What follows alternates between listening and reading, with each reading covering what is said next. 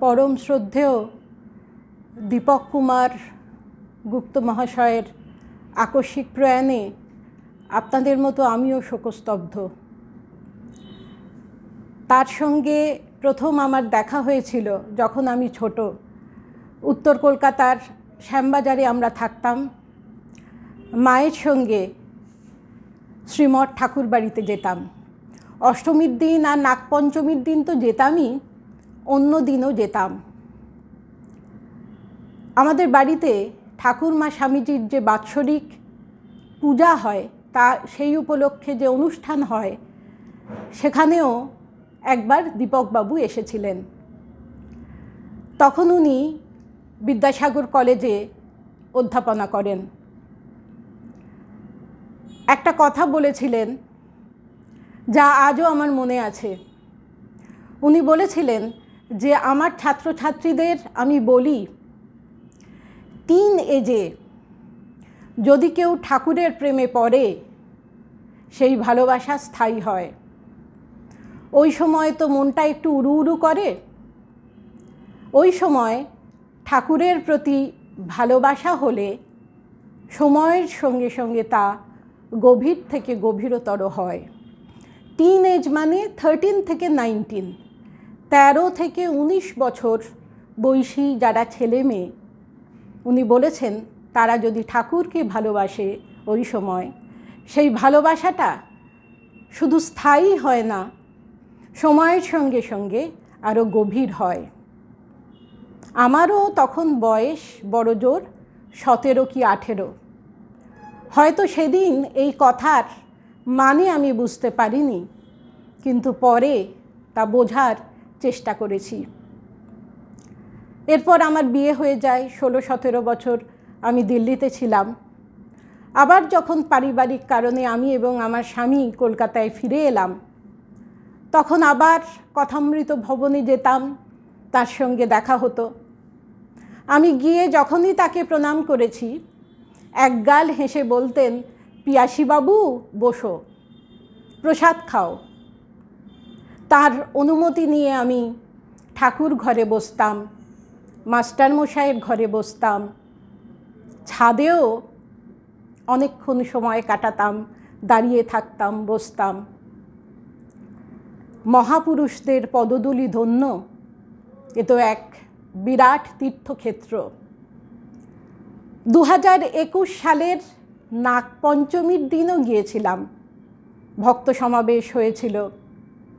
শারদেশ্বরী আশ্রমের মাতাজিরাও এসেছিলেন।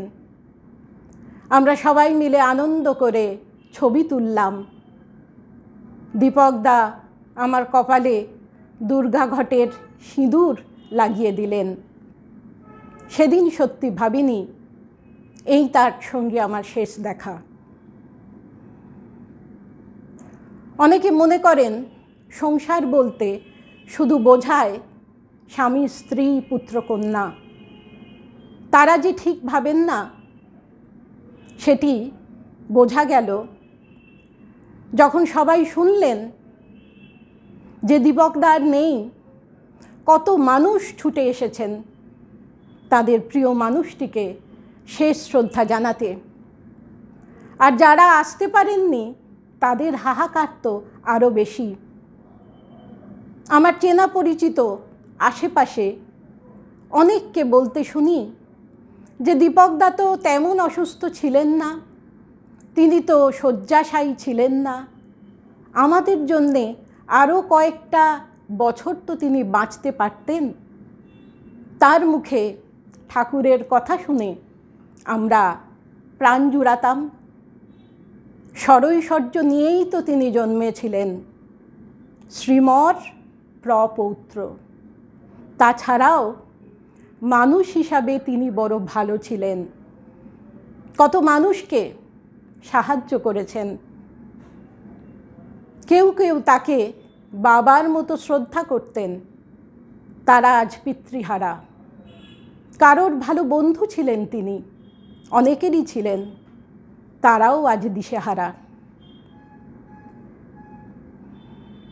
এই ভক্তদের একে অপরের সঙ্গে যে সম্পর্ক, তা আত্মিক সম্পর্ক। এই সম্পর্ক মাইক সম্পর্কের অনেক ঊর্ধ্বে। কারণ এই সম্পর্কের ভিত অত্যন্ত সুদৃঢ়। এটি ঈশ্বর কেন্দ্রিক। আজ পৃথিবীটা ছোট হয়ে গেছে। আমরা বলি গ্লোবাল ভিলেজ। পৃথিবীর এক প্রান্তে দাঁড়িয়ে অন্য প্রান্তের মানুষের সঙ্গে যোগাযোগ স্থাপন করা আজ কোনো শক্ত কাজ নয়। তাই যারা চেয়েছেন বিশ্বের যে কোনো প্রান্তেই তিনি থাকুন না কেন, প্রাণারামের মাধ্যমে প্রতি সোমবার দীপকদার কথামৃতের ব্যাখ্যা শুনে তারা মুগ্ধ হয়েছেন, সমৃদ্ধ হয়েছেন। আর এমনই কোয়েন্সিডেন্স দেখুন, যখন তার অনিত্য শরীরটি পুরে ভস্মীভূত হচ্ছে, তখন তার কণ্ঠস্বর সবার কাছে পৌঁছে যাচ্ছে। তিনি বলছেন, এ সংসারে একমাত্র নিত্য বস্তু হল ঈশ্বর।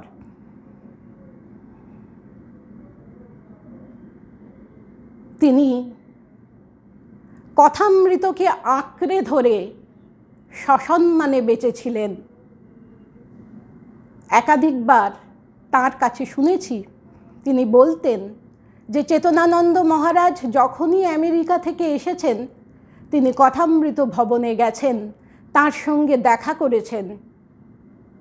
আমেরিকার বর্তমান প্রজন্ম গসপেল অফ শ্রীরামকৃষ্ণ, কথামৃতর যা কথামৃত ইংরেজিতে অনুদিত।